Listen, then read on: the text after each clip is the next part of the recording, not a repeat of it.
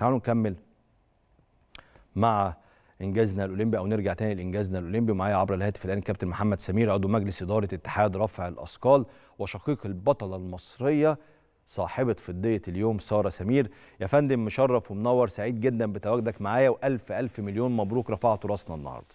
الله يبارك في حضرتك يا فندم. مبروك لمصر كلها. النهارده النهارده سارة شرفتنا وفرحتنا. وكنت لسه بتكلم في المقدمة الله يكون في عونها والله يكون في عونكم أنتوا كمان وانتوا معاها الضغط العصبي الكبير اللي كان عليها النهارده ورغم كده كانت جاهزه انها تشيل ميدالية لمصر النهارده. والله يا فندم الحمد لله فعلا الموضوع كان ضغط جدا ويعني الحمد لله هي دايما بتبقى قد المسؤولية وفي المواقف دي بنلاقيها يعني الحمد لله ربنا يبارك فيها. تواصلت معاها بعد المباراة أكيد قول لي كان إحساسها إيه وشعورها إيه خاصة إن هي طلعت بتصريحات بعد بعد المنافسات على طول وقالت إنها كان نفسها تاخد الذهب.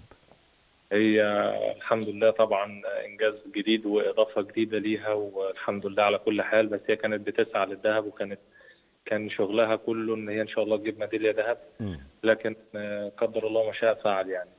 الحمد لله برضو مش قليل ميدالية فضة وأحسن من اللي فات وبإذن الله لسه ميعاد الذهب إن شاء الله المرة الجاية بإذن الله. إن شاء الله. 8 سنين من الميدالية الأولى للميدالية الثانية. هل في الفترة ديت سارة حست بأي إحباط؟ سارة فكرت إنها ما تكملش ولا كانت مصممة إنها توصل للأولمبياد النهارده وتاخد الميدالية؟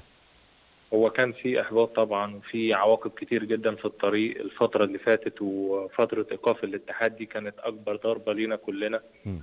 لكن بصراحة هي عمرها ما ما قالت إن أنا مش هلعب تاني يعني. بس هي, بتحب اللعبة ومصممة على النجاح ومصرة عليه والحمد لله على اللي إحنا فيه دلوقتي. وده نتاج مجهودها وتعبها طول السنين اللي فاتت. مرت بأزمات كتير سواء صحية أو انتكاسات في اللعبة نفسها. وإن هي توصل للإنجاز ده دلوقتي حاجة تشرف يعني الحمد لله. كابتن محمد سمير عضو مجلس إدارة اتحاد رفع الأثقال وشقيق بطلتنا المصرية سارة سمير. أنا بشكرك شكرا جزيلا على هذا اللقاء وألف مليون مبروك.